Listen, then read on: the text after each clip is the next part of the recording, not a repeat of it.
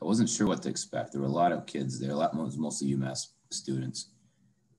But when we turned the corner and we saw it, the whole bus was just you could feel the emotion, the gratitude, uh, because that's been the missing part of this whole season is the fan support, reaction, and the buzz and the energy that they bring. And we were all so grateful. It was fun. Uh, unfortunately, COVID kind of COVID concerns kind of went out the window. There's a lot of hand slapping and close contact, um, but it was palpable.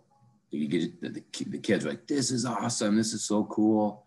Uh, and they've earned that. They've, you know, you didn't really get it. There was, you know, we had a good number of fans supporting us in Pittsburgh, but I was, it was great for the kids to, for them to feel that from the university, from their their peers. Uh, it was a, it was a great event. It, well, didn't know what to expect. Turned out to be a great part of the weekend. PNC Bank helping to make banking easier.